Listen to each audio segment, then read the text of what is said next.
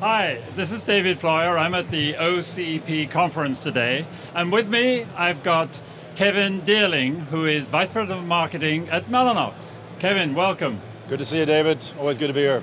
Oh, it's good to have you here. So, uh, your mission at Mellanox, if I can put it uh, succinctly, is to connect everybody with everything. Is that right? Absolutely. Yeah. We, All right. we like to connect the clouds and the data centers and uh, really everybody. Oh, so uh, at the conference, did you consummated any uh, new uh, connections?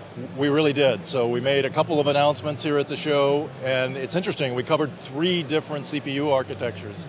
So we're really connecting across multiple platforms. Uh, the Olympus platform that Microsoft announced, they also That's announced. the x86 one, is it? Exactly, Yeah. exactly. And we also announced a platform with Qualcomm that uh, we're connecting a Qualcomm ARM-based platform that Microsoft also says they're going to be using as part of Olympus in their Azure cloud.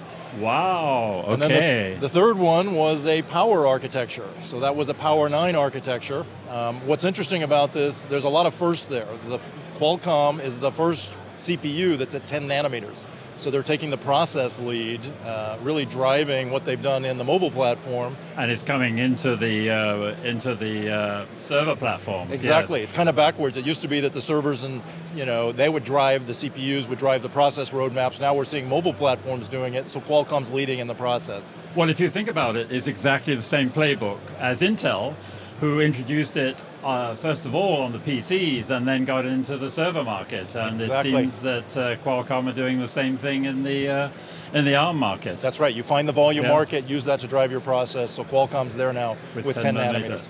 The other big thing that we announced, the first ever, was a PCI Express Gen 4 server. So the Power 9 is the first CPU that has this PCI Express Gen 4, which is the faster speed of PCI Express I.O. connectivity. So the fastest I.O. connectivity, again, is on Power CPU Right. architecture. So pretty exciting that they're leading there. So Intel are being pressured a little bit at the top by the open power and pressured at the bottom from from ARM with, with different objectives, uh, different uh, co- connectivity uh, issues. Absolutely. And so Facebook talked about the power platform that they're using. That platform is called Zaius. It was actually uh, a co-development between Rackspace and Google as part of this OCP project. And so it's an open platform. Similarly, the project Olympus, which is the Microsoft, there they've got both the x86 and the Qualcomm ARM processors. So we're excited to connect all of it. Oh wow, that's you're right in the middle of everything. Absolutely.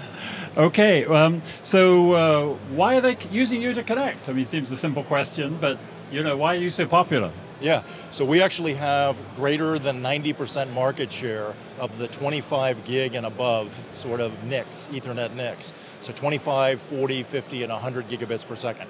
So we have the fastest NICs out there, so hence all of these different cloud and you know, hyperscale data centers are using our NICs inside of their data centers.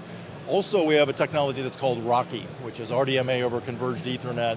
It's a technology that Microsoft was showing in their data centers and in their storage. They can actually deliver extremely good efficiency. And the whole key there is that we're able to deliver this 100 gigabits per second of bandwidth without chewing up all of the CPUs. That's still the most expensive part of the server, is the CPU and the Right, memory yes, subsystem. yeah. And we give it back to run applications and we move the data for you. So you you've moved that uh, uh, overhead of RoCE, put it into your own NICs and your own uh, chips. Exactly right. So we take make the data transport very, very efficient, and it doesn't use any of the CPU. That means you can run more workloads. So whether you're on Facebook or Microsoft or doing a public cloud or a Web 2 application, you can run that application, support more users, and not have to worry about moving the data around. Right. And if you've got a, an expensive uh, piece of software which is core counted, then you can use it for running the application as opposed to running the network behind it. Exactly. So if you're paying a license fee, you know, you don't want to pay that and then chew up half of your CPUs just moving the data back and forth. You want to have all of it focused on running the application. So all of these connections that you talked about, we're talking about pretty short connections here, aren't we? I mean, sort of meters rather than anything else? Yeah, so you know most of the switch to server connections are under three meters. So we actually have a full line of connectivity products. We do copper cables inside of the racks that go to our top of Right, rack switches. right. Our Spectrum switch, we can do 100 gig, we have breakout cables that go to 25 gig, and that's all copper for those short distances. And then it depends on how far you need to run and how big your data center is. Well, just come back to that in a second, but talk a little bit more about the, the switches there. You were talking about uh, connecting 425 uh, gigabit uh, into one 100 gig. gigabit. Exactly right. We have a breakout cable. So our top of rack switches, one of the other announcements we made here at OCP this week is that we're running Sonic, which is the Microsoft open source uh, operating system that runs on top of the switch. It has really good metrology and observability so you can monitor what's happening in Right. these giant data centers. That's running on top of our Sonic uh, Spectrum-based switch. And so we can take a 100 gig port and we can break it out to four 25 gig lengths and connect to four servers. So with one half rack width server, we can, or switch, we can connect to 64 25 gig servers. That's really cool. impressive. That's cool. Yeah. Well, what about the longer distances then? I mean, uh, data centers are pretty big these days. Uh, the Yeah. Azure data center, uh, I think, is more measured in kilometers, isn't it, than uh, meters? Yeah, so once you get beyond about three meters, people will go to often multi-mode fiber, which uses VCSEL technologies. We have transceivers and cables that do that. And then when you get to these hyperscale data centers, 100 meters doesn't cut it. It's not big enough to connect from one end of the data center to the other. So we have a silicon photonics platform. We bought two companies uh, and we have a silicon photonics platform that goes up to two kilometers over single mode fiber, really cool technology. We're shipping this stuff in volume now.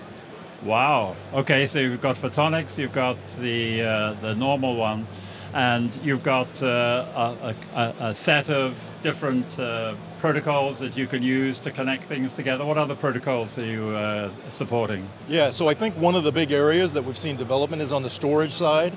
So we see things like NVMe and now NVMe over fabrics.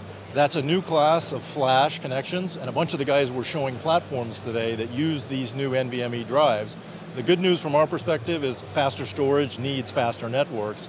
We can take three NVMe drives and saturate a 100 gig link, but to do that, we need things like NVMe over fabrics. Right. That lets you extend the storage. You don't care whether it's in your box or somewhere on the other end of the data center. You just go grab the data. We do that with super low latency and we offload all of that.